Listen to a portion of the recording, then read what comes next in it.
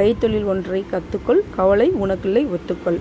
நான் வந்து உங்கள் தையல் நாயகிக்கா பேசுகிறேன் நான் கற்றுக்கிட்டதை வந்து உங்களுக்கும் சொல்லிக் கொடுக்குறேன். வாங்க நம்ம இந்த வீடியோக்குள்ளே போகலாம் அதுக்கு முன்னாடி என் சேனலை வந்து சப்ஸ்கிரைப் பண்ணாதவங்க சப்ஸ்கிரைப் பண்ணிக்கோங்க லைக் கொடுங்க கமெண்ட்ஸ் கொடுங்க. வாங்க வீடியோவை பார்க்கலாம்.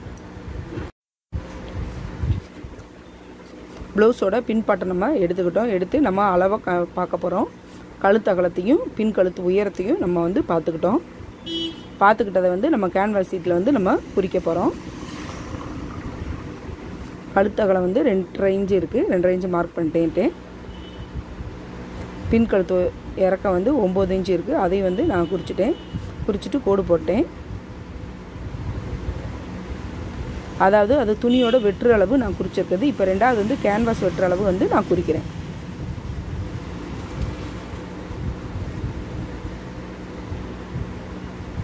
பின்கழுத்து இறக்கத்தில் இருந்து ஒரு ரெண்டு இன்ச்சு கீழே மார்க் பண்ணி அதை அப்படியே நம்ம கேர்வாக வளைச்சி விட்டுக்கிட்டோம்.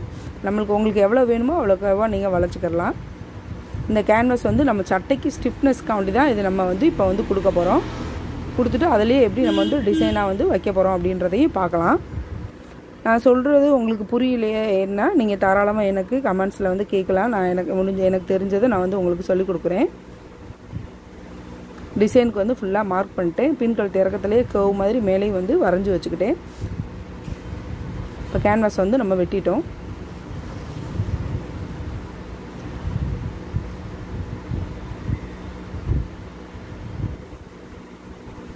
வெட்டினதை வந்து நம்ம அயன் பாக்ஸ் வச்சு அயன் பண்ணி தனியாக எடுத்து வச்சுக்கிறணும். பார்த்தீங்கன்னா உங்களுக்கு தெரியும் நம்ம வந்து வெட்டிட்டோம். அயன் பாக்ஸில் அயன் பண்ணி எடுத்து வச்சிட்டோம். இப்போ அந்த கேன்வாஸ் அயன் பண்ணதை வந்து நான் அவுட்லைன் முதல் அடிக்கிறேன்.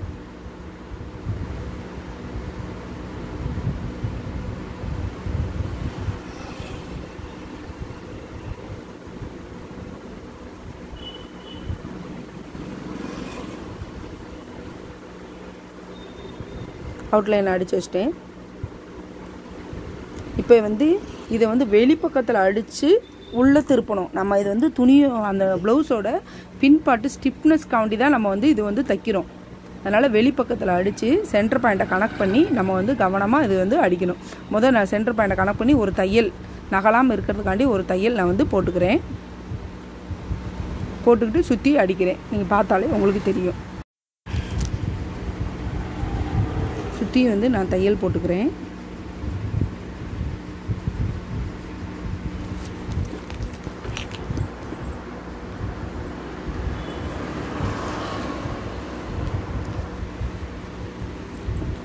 மாடல் ப்ளவுஸ் தைக்கிறது வந்து ரொம்ப ஈஸி நீங்கள் புரிஞ்சு தைச்சிங்கன்னா ரொம்ப ஈஸியாக தைச்சிருவீங்க.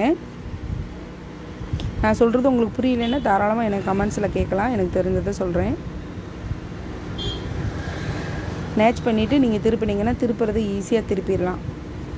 அதுக்காண்டி தான் நம்ம வந்து நேச் பண்ணுறோம் மேக்ஸிமம் கேன்வாஸ் வச்சு தேய்ச்சி திருப்புறது அதே கலர் லைனிங்காக கொடுத்து திருப்பினீங்கன்னா கொஞ்சம் அழகாக இருக்கும். உள்ளே பார்க்குறப்பையும் வித்தியாசம் இல்லாமல் இருக்கும். வந்து தைச்சிட்டோம். இந்த இதுக்கு ப்ளவுஸுக்கு தேவையான முக்கோண பீஸ் வந்து இப்போ வந்து நம்ம தைச்சி வச்சுருக்கோம். அந்த சாரீ கிளாத்துலேயே எடுத்து நான் முக்கோண பீஸ் ரெண்டு இன்ச்சு அகலம் ரெண்டு இன்ச்சு உயரத்தில் வந்து ஆல்ரெடி தைச்சி வச்சுருக்கேன். தைச்சி வச்சதுக்கு கழுத்துக்கு பைப்பிங் கொடுத்துட்டு அந்த தைச்சி வச்சதை வந்து நம்ம அந்த உள்ள கேன்வாஸ் அடித்து திருப்பி அந்த கார்னரில் ஒரு அமுக்கு தையல் போட்டோம்ல அந்த அந்த எஜ்ஜுக்கு மேலேயே வெளியில் வந்து அந்த தையல் நம்மளுக்கு வந்து தெரியும். அதுக்கு மேலேயே நீங்கள் வந்து இந்த முக்கோண பீஸை வச்சு தைங்க. கொஞ்சம் பொறுமையாக தைங்க.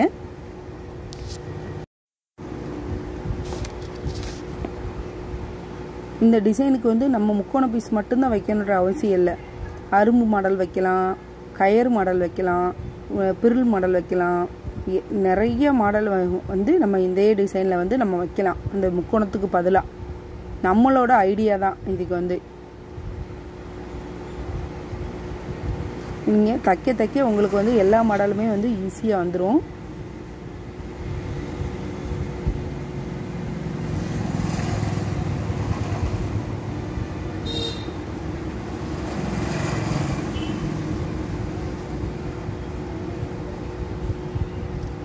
இது தச்சு ஃபினிஷ் பண்ணி நம்ம போடுறப்ப நல்லா ஃபேன்சியாகவும் இருக்கும் நல்லா அழகாக இருக்கும். அந்த சேரீக்கு இது வந்து இந்த ப்ளவுஸ் போடுறப்ப தூக்கி காமிக்கும். டிசைன் வைக்கிறப்ப மட்டும் கொஞ்சம் பொறுமையாக தைங்க.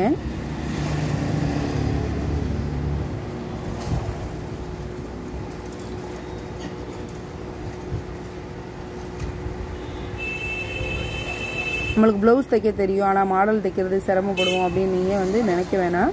நீங்கள் பொறுமையாக தைச்சாலே மாடல் வந்துடும் ஒரு தடவைக்கு ரெண்டு தடவை தைக்கிறப்ப இந்த மாடல் வந்து உங்களுக்கு ஈஸி ஆயிடும்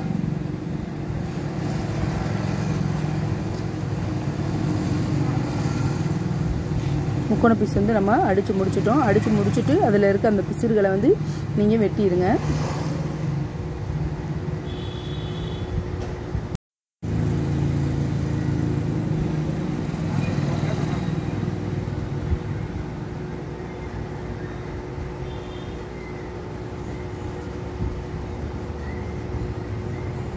இப்போ அந்த பிசிறு தெரியாமல் இருக்கிறதுக்கு அதுக்கு மேலேயே வந்து நான் வந்து சாரீ கலரில் லேஸ் வச்சு தைக்கிறேன்.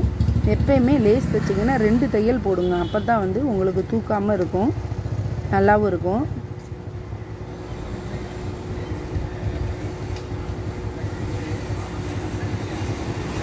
இந்த கார்னர் வரப்போ மட்டும் கொஞ்சம் கவனமாக தைங்க.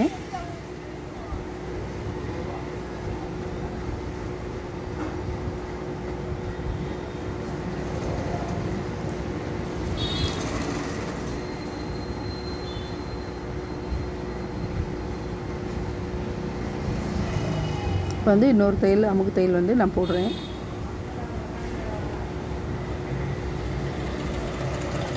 இப்போ வந்து நம்ம அந்த முக்கோண பீஸ் வச்சு தைச்சி டிசைன் முடிச்சிட்டோம்.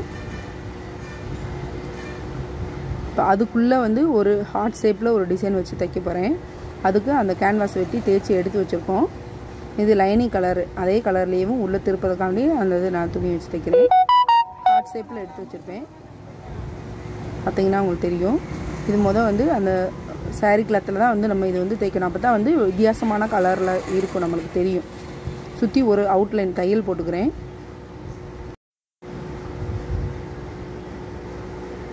அவுட்லைன் தையல் போட்டிங்கன்னா உங்களுக்கு கேன்வாஸ் வந்து எங்கே இருக்குது அப்படின்றது தெரியும். நம்ம அடித்து திருப்பிட்டோன்னா அதுக்காண்டி தான் அந்த அவுட்லைன் தையல் போடுறோம்.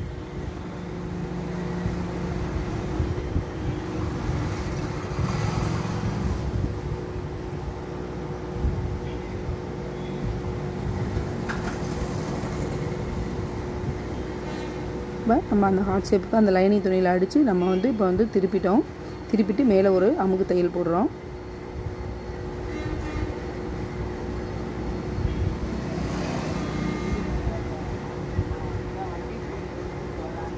அமுக்கு தையல் போட்டு சுற்றி ஒரு தையல் போட்டு விட்ருங்க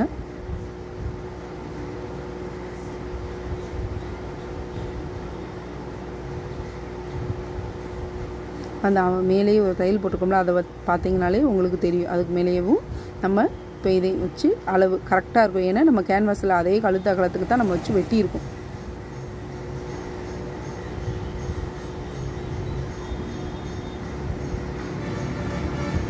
ஒரு தையல் போட்டு வச்சு பார்த்துட்டு திருப்பி இன்னொரு தையல் நல்லா ஸ்ட்ராங்காக போட்டு விட்ருங்க இப்போ நம்ம தையல் போட்டு விட்டு அதை சென்டர்லேயும் வந்து நம்ம ஒரு முக்கோண பீஸ் வச்சுருக்கேன்.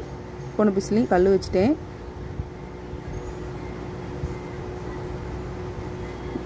சுற்றி வந்து கார்னரில் பூரா அந்த முக்கோண கார்னரில் பூரா முக்கோண கார்னரில் ஃபுல்லாக வந்து கல் வச்சு தைச்சாச்சு. நம்ம சட்டையை எவ்வளோ வேணாலும் அழகுபடுத்திக்கலாம். நம்ம வச்சு தைச்சிக்கிறலாம்.